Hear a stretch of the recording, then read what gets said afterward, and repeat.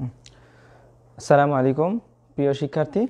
আজকে আমরা চতুর্থ অধ্যায় আমরা শেষ করব পাওয়ার ইঞ্জিনিয়ারিং ফান্ডামেন্টাল সাবজেক্টটি তো চতুর্থ অধ্যায়ের আমরা লাস্ট দিকে আমরা ইএফআই ইঞ্জিনের কার্যপ্রণালী দেখছিলাম। তো এইটা আমি আবার একটু রিপিট করব। ইএফআই ইঞ্জিন অর্থাৎ electronic fuel injection electronic fuel ignition অর্থাৎ ইলেকট্রনিক্স বোঝাচ্ছে আমাদের যে বিভিন্ন সেন্সরের মাধ্যমে বিভিন্ন জায়গা থেকে ইঞ্জিনের কন্ডিশনগুলা রিড করবে এবং এর উপরে যে পরিমাণে ফুয়েল সিলিন্ডারের মধ্যে অথবা ইনজেক ইনটেক ম্যানিফোল্ডে নির্দিষ্ট পরিমাণ ফুয়েল ইনজেক্ট করার জন্য সে ডিসাইড করবে। এটাকে EC ECU electronic fuel ignition সিস্টেমটা electronic control unit electronic control ইউনিটটা ফুয়েল কি পরিমাণে স্প্রে করতে হবে, সেটা সে মেজারমেন্ট করবে এবং সেটা সে কন্ট্রোল করবে। এখানে আমরা ফিগারের মধ্যে দেখতেছি যে এটা ফুয়েল ট্যাঙ্ক এটা ইনটেক ম্যানিফোল্ড অর্থাৎ এই পাশ দিয়ে আমার এয়ার সিলিন্ডারের মধ্যে প্রবেশ করবে। এটা হলো এক্সজাস্ট ম্যানিফোল্ড অর্থাৎ সিলিন্ডারের মধ্যে যে পরিমাণে পোড়া গ্যাস উৎপন্ন হবে পাওয়ার উৎপাদন করার পরে সেটা এই পথে বের হয়ে যাবে। আর এটা আমার সিলিন্ডার, এইটা সিলিন্ডার এটা পিস্টন। আর ইনটেক ম্যানিফোল্ডের সাথে যে ভাল্ব থাকবে, সেটা ইনটেক ভাল্ব এবং এক্সজস্ট ম্যানিফোল্ডের সাথে যে ভাল্বটা থাকবে, সেটাকে আমরা এক্সজস্ট ভাল্ব বলব। আর এখানে আরেকটা স্পার্ক প্লাগ স্পার্ক প্লাগের মাধ্যমে এখানে প্রজ্বলন ঘটানো হবে। অর্থাৎ ইগনাইট করা হবে এয়ার ফুয়েল মিক্সারকে। এখন আমি দেখি যে ফুয়েল ট্যাঙ্ক থেকে ফুয়েল প্রথমে ফুয়েল ইনজেক্টরের মাধ্যমে কি পরিমাণে ফুয়েল দরকার সেটা ইসিইউ ইলেকট্রনিক কন্ট্রোল ইউনিট নির্দিষ্ট করবে, নির্ধারিত করবে। এখানে ইনজেক্টরের মাধ্যমে ইসিইউ নির্দিষ্ট পরিমাণে ফুয়েল ইনটেক ম্যানিফোল্ডের শুরু শেষে এটাকে স্প্রে করবে ইনজেক্ট করবে।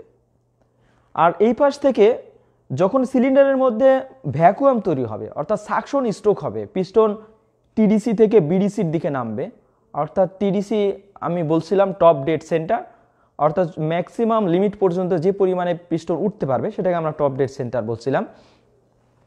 পিস্টন টিডিসি থেকে যখন নিচের দিকে নামবে বিডিসির দিকে, তখন সিলিন্ডারের মধ্যে ভ্যাকুয়াম তৈরি হবে। যখন কোনো স্থানের মধ্যে, কোনো প্রকোষ্ঠের মধ্যে ভ্যাকুয়াম তৈরি হয়, তো নর্মাল বায়ুমণ্ডলের যে প্রেশার, এই প্রেশারে বায়ুটা ওই ফাঁকা স্থানটাকে পূরণ করতে চাবে। তো এখন এখানে যখন সিলিন্ডারের মধ্যে ভ্যাকুয়াম তৈরি হবে, অর্থাৎ নেগেটিভ প্রেশার তৈরি হবে, পিস্টন টিডিসি থেকে বিডিসির দিকে মুভ করবে, তখন সাকশন লাইন দিয়ে air, fresh air, suction line দিয়ে সিলিন্ডারের মধ্যে প্রবেশ করার জন্য লাইন করে দেয়া থাকবে। এই পাশ দিয়ে আসবে। যখন ইনটেক ম্যানিফোল্ডের মধ্য দিয়ে এয়ার আসতে থাকবে, তখন ইলেকট্রনিক কন্ট্রোল ইউনিট ইনজেক্টরকে নির্দিষ্ট পরিমাণে ফুয়েল স্প্রে করার জন্য অনুমতি দিবে। যখন ইনজেক্টর এখানে স্প্রে করবে, এই পাশ থেকে ইনটেক ম্যানিফোল্ড দিয়ে এয়ার আসছে এয়ার আসতেছে, এর ওই জায়গার মধ্যে যখন, ওই স্থানের মধ্যে যখন ফুয়েল ইনজেক্ট করবে অর্থাৎ ফুয়েলটাকে একেবারে অ্যাটোমাইজ করে স্প্রে আকারে এখানে যখন ইনজেক্ট করবে, তখন এয়ারের সাথে ফুয়েলটা একটা মিক্সার হবে। এই মিক্সারটা সিলিন্ডারের মধ্যে প্রবেশ করবে। তাহলে আমরা সিলিন্ডারের মধ্যে প্রজ্বলন ঘটানোর জন্য এয়ার ফুয়েল মিক্সার দরকার অবশ্যই, ইএফআই ইঞ্জিনে। তাহলে এয়ার ফুয়েল মিক্সার আমার চলে আসলো, সাকশন স্টোকে এরপরে পিস্টন যখন উপরে উঠবে, ফোর স্টোক ইঞ্জিন যখন উপরে উঠবে, প্রথম ঘাট সম্পন্ন হইল অর্থাৎ পিস্টন টিডিসি থেকে বিডিসির দিকে নামলো, সাকশন স্টোক কমপ্লিট হইল। এরপরে পিস্টন, তখন কি হইল? সিলিন্ডারের মধ্যে চার্জ হইল, এয়ার ফুয়েলের মিক্সচার হইল। এই পাশ থেকে মিক্সচার হয়ে প্রবেশ করল। এরপরে দ্বিতীয় স্টকে পিস্টন বিডিসি থেকে টিডিসির দিকে উঠবে। যখন উঠবে, তখন এই ইনটেক ভাল্ব যেটা ইনটেক ভাল্বটা বন্ধ হয়ে যাবে। ওইটা একটা অ্যারেঞ্জমেন্ট থাকবে, সেটা বন্ধ করে দিবে। এখানে ক্যাম লুপটা এই লুপ চলে যাবে এইদিকে। ঘোরার সময় ওটা আমরা পরে আলোচনা করব। তখন বন্ধ হয়ে থাকবে। বন্ধ হয়ে থাকার কারণে চার্জ যে আমাদের সিলিন্ডারের মধ্যে চার্জ হয়েছিল, সেটা কিন্তু কোনো দিকে বের হওয়ার কোনো সুযোগ নাই। সো এটাকে কম্প্রেসড করবে। অনেক কম্প্রেসড করবে। কম্প্রেসড করার পরে যখন এটাকে হাই টেম্পারেচার এবং প্রেশার হবে, তখন এর মধ্যে এখানে প্রজ্বলন ঘটানোর জন্য তৃতীয় স্ট্রোক প্রথম স্ট্রোক সাকশন দ্বিতীয় স্ট্রোক কম্প্রেসড হয়ে গেল। এরপরে তৃতীয় স্ট্রোকের শুরুতেই স্পার্ক প্লাগের মাধ্যমে ফায়ারিং করে দেওয়া হবে। ফায়ারিং যখন করবে, তখন পাওয়ার স্ট্রোক এখানে পাওয়ার উৎপাদন হবে। পাওয়ার স্ট্রোক যখনই এখানে পাওয়ার উৎপাদন হবে, তখন পিস্টনের উপর বিশেষ অনেক প্রেশার পড়বে থ্রাস্ট পড়বে। থ্রাস্টের কারণে পিস্টনটা নিচের দিকে নামবে। অর্থাৎ আমার তৃতীয় স্ট্রোক শুরু হইল পাওয়ার স্ট্রোক পাওয়ার স্ট্রোকের সময় নিচের দিকে নামবে, উভয় ভালো বন্ধ থাকবে নিচের দিকে নামবে, যখন নিচের দিকে নাম নিচের দিকে চলে আসবে, তখন আমার তৃতীয় স্ট্রোক কমপ্লিট হইল। এরপরে পিস্টন বিডিসি থেকে আবার টিডিসি দিকে যখন উঠবে, তখন এক্সজস্ট ভাল্ব খুলে যাবে। এবং আমার ফুয়েল কম্বাসন হওয়ার পরে যে বার্ন হয়েছে যে পোড়া গ্যাস তৈরি হয়েছে সেটা এক্সজস্ট ভাল্ব খুলে যাওয়ার কারণে এক্সজস্ট পোর্ট দিয়ে এক্সজস্ট ম্যানিফোল্ড দিয়ে আমাদের বায়ুমণ্ডলে আমরা ছেড়ে দিব। এখানে ক্যাটালাইটিক কনভার্টার থাকে, যেটার মাধ্যমে আমরা বলছিলাম যে এখানে বিশেষ অনেক অনেক ইঞ্জিনে লাগানো থাকে, যে এয়ারকে, এয়ারের মধ্যে যে আমরা পোড়া গ্যাস ছেড়ে দিব, এই পোড়া গ্যাসের মধ্যে যেগুলো বিশেষ ক্ষতিকারক ক্ষতিকারক যেগুলো উপাদান থাকবে, সেগুলোকে আমরা এখান থেকে এখান থেকে ট্রিটমেন্ট করে আমরা ছেড়ে দিব। যে বায়ুমণ্ডলের মধ্যে যেন আমাদের এয়ার পলিউশন যেটা বেশি, যেগুলো, সেগুলো যেন না সরাসরি বের হইতে পারে। তাহলে এখান থেকে আমরা বুঝতে পারলাম যে ইএফআই ইঞ্জিনের ইএফআই ইঞ্জিনে ইঞ্জেক্টরও থাকবে, যেটা ইলেকট্রিক্যালি অপারেট এবং স্পার্ক প্লাগও থাকবে। এই দুইটার সমন্বয়ে এখানে আমাকে, আমাদেরকে বলা হয়েছে যে ইঞ্জেক্টর ব্যবহার করার কারণে এখানে আর কার্বোরেটর ব্যবহার করার প্রয়োজন হয় না। কার্বোরেটরের রিপ্লেসমেন্ট হিসাবে রিপ্লেস হিসাবে আমাকে ইএফআই ইঞ্জিন তৈরি করা হয়েছে এবং এখানে ইলেকট্রিক্যাল ইঞ্জেক্টর তৈরি করা, ব্যবহার করা হয়েছে। আমার মনে হয় ইএফআই ইঞ্জিনের আমাদের কার্যপ্রণালী আমরা বুঝতে পারছি এবং এই ইলেকট্রনিক ফুয়েল ইগনিশন সিস্টেমের যে ইঞ্জেক্টরকে অপারেট করবে, এটার জন্য ইলেকট্রনিক কন্ট্রোল ইউনিট বিভিন্ন জায়গা থেকে ডেটা নেবে। সে এই যে এখান থেকে ফুয়েল কার্ড সেন্সর থেকে সে ডাটা নিবে, এখান থেকে এয়ারের প্রেশার কি পরিমাণ আছে ইনটেক এয়ার প্রেশার সেন্সর এখান থেকে সেন্সর নিবে এবং এই পাশ থেকে ফুয়েলের ফুয়েল থেকেও কি পরিমাণে আমার ফুয়েল আসতেছে সেটাও সে সেন্স করবে। অর্থাৎ বিভিন্ন জায়গা থেকে এর ফুয়েলের টেম্পারেচার তা এয়ার প্রেশার এবং ফুয়েল কাট সেন্সর এগুলো সম্পূর্ণ কিছু সে অ্যানালাইজ করে নির্দিষ্ট পরিমাণে ফুয়েল সে ইনজেক্ট করবে এবং এটা ইনটেক ম্যানিফোল্ডের শেষে। এরপরে আমরা দেখব ভিভিটিআই ভিভিটিআই ইঞ্জিন এটা অনেক ব্যবহার করা হচ্ছে আমাদের দেশে এখন। এর পূর্ণ রূপ হইল ভেরিয়েবল ভাল্ব টাইমিং ইন্টিগ্রেন্স অর্থাৎ এটা ভাল্ব টাইমিংয়ের একটা পদ্ধতি। আর ভাল্ব টাইমিং কি সেটা আমরা এখানে বলছি যে এটার একটু আমরা হিস্ট্রি দেখি। মোটরযানের এই প্রযুক্তি টয়োটা কোম্পানি উনিশশো একানব্বই সালে, উনিশশো একানব্বই সালে সর্বপ্রথম উদ্ভাবন করেন। ভাল্ব টাইমিং কি সেটা আমরা দেখি। ভাল্ব টাইমিং হলো ইঞ্জিনে ভাল্বগুলি সুনির্দিষ্ট সময়ে খোলা বা বন্ধ হওয়া।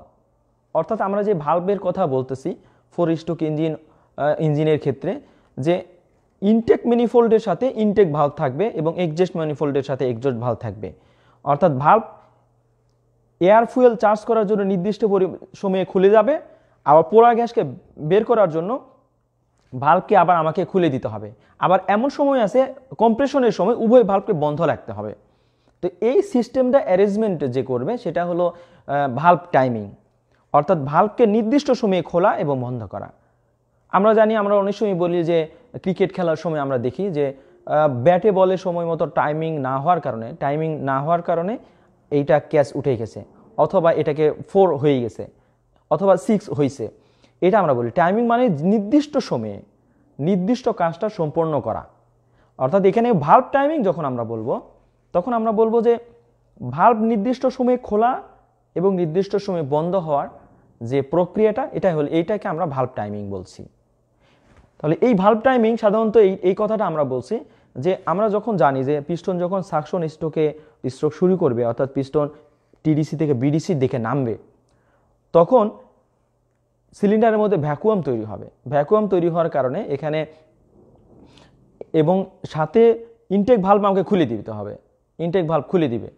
হবে তখন এখানে যখন নিচের দিকে ভাল্ব আসবে, তখন যে আমরা দেখতেছি, কিন্তু এটা আসতেছে। এরপরে আবার যখন উপরে উঠতেছি, তখন কম্প্রেসড হচ্ছে এবং যখন পাওয়ার উৎপাদন হচ্ছে পিস্টন নামতেছে। এটা যখন আমি চিন্তা করব যে অনেক স্পিড যখন ফুল রানিংয়ে ইঞ্জিন অপারেট হয়, অর্থাৎ মিনিটে চারশো পঞ্চাশ বার পিস্টন আপ ডাউন করতেছে। পিস্টন সিলিন্ডারের মধ্যে আপ অ্যান্ড ডাউন হচ্ছে।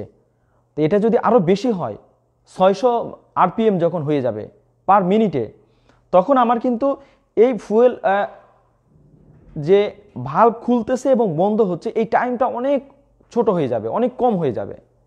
এই জন্য এখানে এই কথাটা বলছে যে সাধারণত উচ্চ গতিবেগে উচ্চ গতিবেগে ইঞ্জিনের ইনটেক ভাল্ব স্বল্প সময় খোলা থাকে।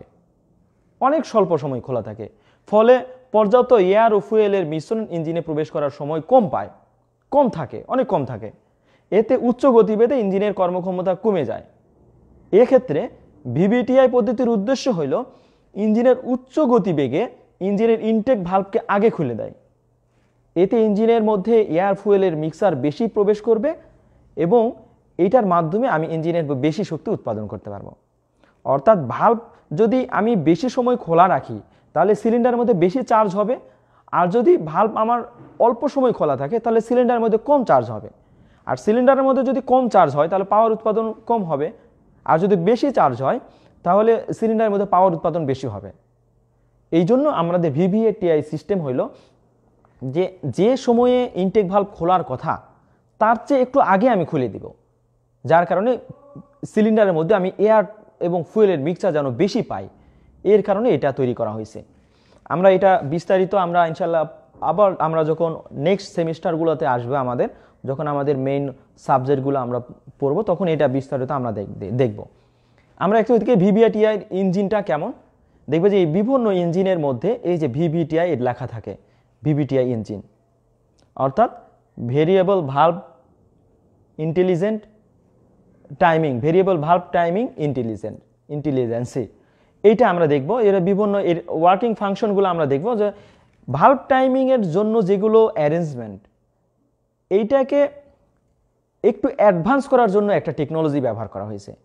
সেটাই ভেরি ভিভিটিআই ইঞ্জিনটা দেখতে এরকম এই কাভার এটা কাভার কাভারের উপর এটা দেওয়া থাকে, আর এটা হলো টয়োটা কোম্পানির লোগো যে ইঞ্জিনগুলোতে দেখব আমরা এই এই সিম্বল দেওয়া আছে, যে গাড়িগুলোতে, সেটা দেখব যে এটা টয়োটা টয়োটা মিটসুবিশি তারপরে নিশান এগুলো বিভিন্ন যেগুলো ব্র্যান্ড আছে, সেগুলো ব্র্যান্ডের নির্দিষ্ট লগো থাকে। ইঞ্জিনের সাথে ওরা লগো লগো দিয়ে দেয়। ইঞ্জিনের সাথে অথবা বডির মধ্যেও দিয়ে দেয়।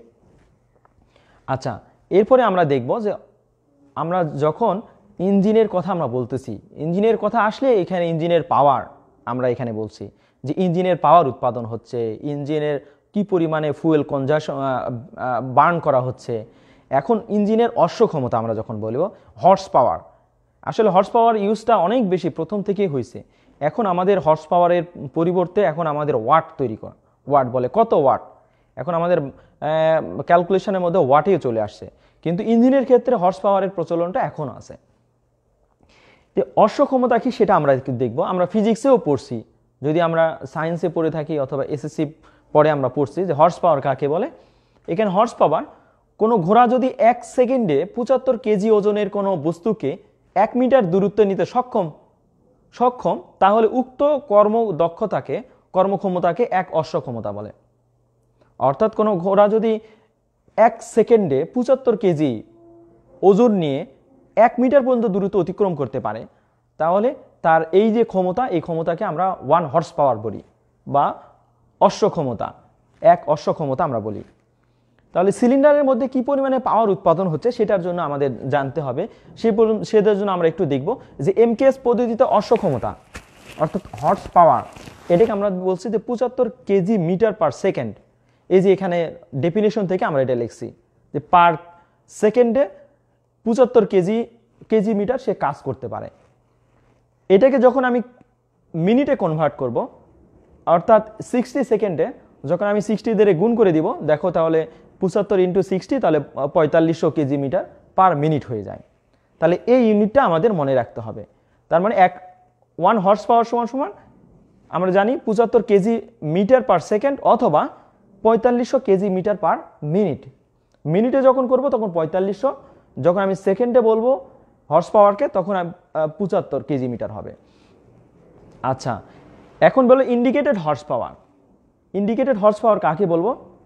ইন্ডিকেটেড হর্স পাওয়ার আমরা বলব যে যে হর্স পাওয়ার যে শক্তিটা ইঞ্জিনের সিলিন্ডারের মধ্যে, ইঞ্জিনের সিলিন্ডারের মধ্যে ফুয়েল বার্ন করার পরে যে শক্তিটা উৎপাদন হয়, কোনো প্রকার কনসিডার লস কনসিডারেশন ছাড়া। ফুয়েল ফুয়েল বার্ন করার পরে যে আমরা পাওয়ারটা পাই, সেটা আমরা বলব ইন্ডিকেটেড হর্স পাওয়ার এই কথাটা এখানে বলছি, ইঞ্জিনের দহন প্রকোষ্ঠে জ্বালানি দহন করার ফলে যে শক্তি উৎপন্ন হয়, তাকে সূচিত সূচিত অসক্ষমতা বা আইএইচপি বা ইন্ডিকেটেড হর্স পাওয়ার বলে। এটা ইন্ডিকেটেড হর্স পাওয়ারটাই বিশেষ ব্যাপকভাবে ব্যবহার হয়। এই ইংলিশ কথাটাই আমরা ব্যবহার করি বেশি। তাহলে ওয়ান এইচ আইএইচপি তাহলে সিলিন্ডারের মধ্যে কি পরিমাণে ফুয়েল কি পরিমাণ শক্তি উৎপাদন হচ্ছে সেটার জন্য একটা সূত্র আছে। এই সূত্র নির্ণয় করার আমরা ইয়া দেখবে আইএসপি দেখব। আইএইচপি সমান সমান P A N K divided by পঁয়তাল্লিশশো। এটা ফর টু স্ট্রোক ইঞ্জিন যদি ফোর স্ট্রোক ইঞ্জিন হয় আইএসপি সমান সমান P L A N K divided by two into পঁয়তাল্লিশশো। এটা ফোর স্ট্রোক ইঞ্জিনের ক্ষেত্রে। কেন? টু স্ট্রোকের ক্ষেত্রে প্রতি একবার ওঠানামাতে একবার পাওয়ার পায়। প্রতিবার একবার ওঠানামা কর- করবে অর্থাৎ দুইবার ওঠানামাতে একবার পাওয়ার পাবে। আর ফোর স্ট্রোকের ক্ষেত্রে চারবার ওঠানামা করতে হবে পিস্টনকে এই জন্য টু স্ট্রোকের ক্ষেত্রে যে এন এর মান যেটা দেওয়া থাকবে, সেটা হলো N by two sorry four স্ট্রোকের ক্ষেত্রে এন বাই টু মানে এন এর অর্ধেক। আর টু স্ট্রোকের ক্ষেত্রে তো এন ইকাল টু এন এই জন্য এনকে যখন আমি, এই এনকে এন বাই টু দিব, তখন নিচে এই টু চলে আসে ফোর স্ট্রোকের ক্ষেত্রে। কারণ ফোর স্ট্রোকের চারবার ওঠানামা করে, আর টু স্ট্রোকে দুইবারে পাওয়ার পেয়ে যায়। এই জন্য এখানে বলছে যে ফোর স্ট্রোকের ক্ষেত্রে প্ল্যাঙ্ক বাই নিচে P L A N K divided by two into পঁয়তাল্লিশশো এটা একটু মনে রাখতে হবে টু স্ট্রোকের ক্ষেত্রে সরি ফোর স্ট্রোকের ক্ষেত্রে টু ইন্টু পঁয়তাল্লিশশো আর টু স্ট্রোকের ক্ষেত্রে শুধু পঁয়তাল্লিশশো যেহেতু এখানে দুইবারে একবার পাওয়ার পাই আর এখানে চারবারে একবার পাওয়ার পাই তাহলে অবশ্যই কমে যাবে। এর ইয়েটা দুই দ্বারা যখন আমি এনকে ভাগ করে দিব এন বাই টু তখন এই ইকুয়েশনটা আসবে। এখন আমি দেখব যে পি দ্বারা কি ইন্ডিকেট করে। এখানে আমরা দেখব যে পি হইল গড় কার্যকরী চাপ মিন ইফেক্টিভ প্রেশার যেটা বলে। এই পি দ্বারা ইন্ডিকেট করতেছে। এর দ্বারা আমরা দেখব যে মিন ইফেক্টিভ প্রেশার যার প্রথম অক্ষর এটা পি এই প্রেশারের পি দেওয়া আছে। এরপরে এল হলো স্ট্রোক লেন্থ বা পিস্টন ডিসপ্লেসমেন্ট আমরা বল- বলতে পারি। অর্থাৎ পিস্টনের টিডিসি থেকে বিডিসি পর্যন্ত, এর আগে আমি দেখিয়েছিলাম। এটা হলো যতটুকু স্পেস পিস্টন ওঠানামা করে, সেটা পিস্টন ডিসপ্লেসমেন্ট অথবা স্ট্রোক বলতে পারি আমরা। সেহেতু এল হিসাবে স্ট্রোক লেন্থ বা দৈর্ঘ্য স্ট্রোক দৈর্ঘ্য। এ হলো সিলিন্ডারের ক্ষেত্রফল। অর্থাৎ সিলিন্ডার কিন্তু গোলাকার। তাহলে সিলিন্ডারের ক্ষেত্রফল আমরা বের করার জন্য কি করতে হবে? যদি ডায়ামিটার দেয়া থাকে, তাহলে এর এরিয়া বের করার জন্য পাই ডি স্কোয়ার ভাগ ফোর এটা আমাকে বের করতে হবে। এরপরে এন ইকাল টু ইঞ্জিনের ঘূর্ণন সংখ্যা। অর্থাৎ কত, মিনিটে কতবার ঘোরে সেটা এটাকে ইন্ডিকেট করতেছে এন আর কে হলো সিলিন্ডারের সংখ্যা। এটা যদি ফোর স্ট্রোক হয়, তাহলে আমি ফোর স্ট্রোক হলে এখানে ফোর হবে, কে এর মান। আর যদি টু স্ট্রোক হয়, তাহলে কে এর মান টু। এটা আমরা ম্যাথমেটিক্যাল যখন প্রবলেম সলভ করব, তখন আমরা আরও বেশি ক্লিয়ার হবে। তাহলে আমরা এরপরে দেখি, আরেকটা অসক্ষমতা, আর অসক্ষমতা একটা আছে, সেটা হলো ব্রেক অসক্ষমতা, অর্থাৎ ব্রেক হর্স পাওয়ার এইটা কি? ইঞ্জিনে শক্তি উৎপন্ন হওয়ার পর ঘূর্ণমান অংশের ঘর্ষণজনিত সকল বাধা অতিক্রম করে ক্র্যাঙ্কশ্যাফটে যে পরিমাণ শক্তি পাওয়া যায় তাকে ব্রেক অসক্ষমতা বলে। অর্থাৎ পিস্টনের মধ্যে আইএইচপি উৎপন্ন হলো। অর্থাৎ পিস্টনের মধ্যে টোটাল যে পাওয়ার উৎপাদন হলো, এটা বিভিন্ন জায়গায় লস হবে। এখানে কুলিং ওয়াটারের মাধ্যমে আমরা কিছু হিট আমরা নিয়ে নিব, এয়ারের মাধ্যমে অনেক হিট নিয়ে নিব। তো বিভিন্ন কম্পোনেন্ট হিট অ্যাবজর্ব করবে, শোষণ করবে। তো কিছু রেডিয়েশনের মাধ্যমে লসও হবে। এগুলো লস কনসিডারেশন ছাড়া সব শেষে যখন ফ্লাই ওভার ফ্লাই হুইলে অথবা আমরা বলছি যে ক্র্যাঙ্কশ্যাফটে যে পরিমাণে পাওয়ার আমরা পাবো, সেটাকে আমরা ব্রেক হর্স পাওয়ার আমরা বলব, যেটা আমরা কাজে রূপান্তর করতে পারি। সেটা হলো ব্রেক হর্স পাওয়ার আইএসপি উৎপাদন হয়েছে, কিন্তু যেটা আমরা আউটপুটে পাচ্ছি, সেটা হলো আমাদের বিএইচপি আচ্ছা বিএইচপি নির্ণয় করার সূত্র কি? বিএইচপি সমান সমান twice by N T divided by পঁয়তাল্লিশশো। যখন পঁয়তাল্লিশশো আসবে, তখন কথা আসবে হর্স পাওয়ার তাহলে এখানে এন হইল ইঞ্জিনের ঘূর্ণন সংখ্যা। এখানে আগেও দেখিয়েছিলাম আর টি হলো টর্ক অর্থাৎ মোচড়ানো যে শক্তিটা। টর্ক হলো মোচড়ানো শক্তি। এই টর্ক নিউটন মিটার অথবা কেজি মিটার অথবা কেজি সেন্টিমিটার, এটা আমরা দেখব পরে। টর্ক টি হলো টর্ক তাহলে এরপরে আমরা দেখব আরেকটা ফ্রিকশনাল হর্স পাওয়ার আমরা যে বলছিলাম ফ্রিকশনাল হর্স পাওয়ার তাহলে যে পরিমাণে আমার পিস্টনের সিলিন্ডারের মধ্যে পাওয়ার উৎপাদন হয়েছে, অর্থাৎ আইএসপি এবং যে পরিমাণে আমি আউটপুটে পাইছি, সেটা হলো বিএইচপি এই দুইটার মাঝখান আমি যদি বিয়োগ করি, তাহলে যেটা আমি পাবো সেটা হলো ফ্রিকশনাল হর্স পাওয়ার অর্থাৎ কি পরিমাণে লস হয়েছে। আমি উৎপাদন পাইছি, আমি আউটপুট পাইছি, অর্থাৎ প্রোডাকশন পাইছি আউটপুট পাইছি, আর মাঝখানে কি পরিমাণে লস হয়েছে, সেটা হলো আমাদের ফ্রিকশনাল হর্স পাওয়ার এটা আমি বলছি যে ঘূর্ণমান অংশের ঘূর্ণন ঘর্ষণজনিত কারণে যে পরিমাণে শক্তির অপচয় হয়, তাকে আমরা ঘর্ষণজনিত অসক্ষমতা বলি ফ্রিকশনাল হর্স পাওয়ার এটা নির্ণয় করার সূত্র আমরা জানি আইএইচপি এফএইচপি সমান সমান ISP minus BHP ISP minus BHP আমরা এটা জানি। অর্থাৎ কি পরিমাণে উৎপাদন হয়েছে আমরা আউটপুট পাইছি, তার যে পার্থক্য সেটা হলো ফ্রিকশনাল হর্স পাওয়ার অর্থাৎ প্রত্যেকটা বস্তুই মেটালিক বস্তু যখন মুভ করবে, তখন একটা ফ্রিকশন উৎপাদন হবেই। এই ফ্রিকশনের কারণে কিছু লস হবে, সেটাকে আমরা ফ্রিকশনাল হর্স পাওয়ার আমি বলছি। আচ্ছা এরপরে আমরা দেখব লাস্ট মেকানিক্যাল ইফিসিয়েন্সি অর্থাৎ যান্ত্রিক দক্ষতা। অর্থাৎ দক্ষতা আমরা কখন বলব? দক্ষতা, যে ঘর্ষণজনিত অসক্ষমতা এবং সূচিত অসক্ষমতা এর অনুপাতকে যান্ত্রিক দক্ষতা বলব। অর্থাৎ আইএইচপি এবং বিএইচপির যে বিএইচপির মধ্যে যে পার্থক্য রেশিও সেটাকে আমরা আইএসপি মেকানিক্যাল ইফিসিয়েন্সি আমরা বলব। এখানে ফন্টটা চেঞ্জ হয়ে গেছে।